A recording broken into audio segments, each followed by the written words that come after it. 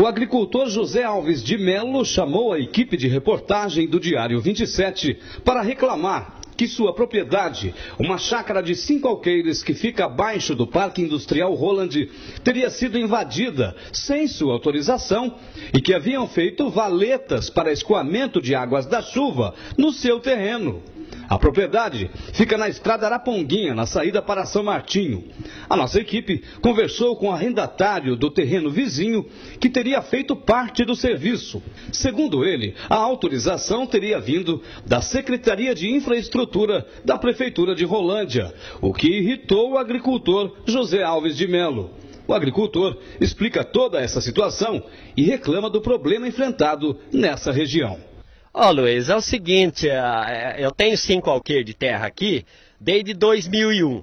E quando não tinha o parque industrial, essa estrada aqui era, uma, era um asfalto, era uma maravilha. Ninguém reclamava. Depois que construiu o parque industrial, jogaram a erosão do parque industrial, a água da, da chuva, tudo na, na, na, nas nossas propriedades aqui. Então aqui quando chove vira um rio. Está prejudicando eu, está prejudicando o vizinho. A água da chuva está entrando até na casa de, de pessoas que moram aqui no sítio. Então tá, tá um caos isso aqui.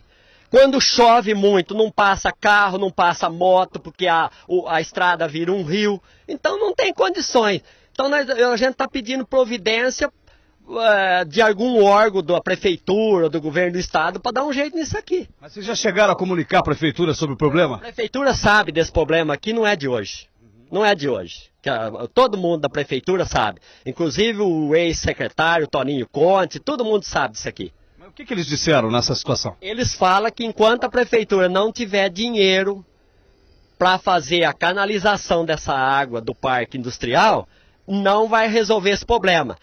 Inclusive, eu fui orientado a me proteger como eu posso. Como eu posso. E eu tentei me proteger, agora a prefeitura vem aqui e autoriza fazer esse, esse serviço que foi feito. Explica pra gente o que, que fizeram aqui. Ah, é, desmancharam a proteção que eu tinha para a água da, do parque industrial não entrar na minha propriedade e, e autorizaram o vizinho a entrar com máquina dentro da minha propriedade, fazer curva de nível aí, fazer, fazer base larga dentro da minha propriedade sem minha autorização.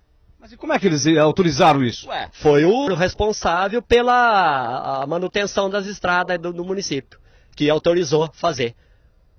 Inclusive eu vou entrar, eu vou entrar com processo aí contra ele ou contra o vizinho aqui, que, que entrou na minha propriedade sem autorização minha.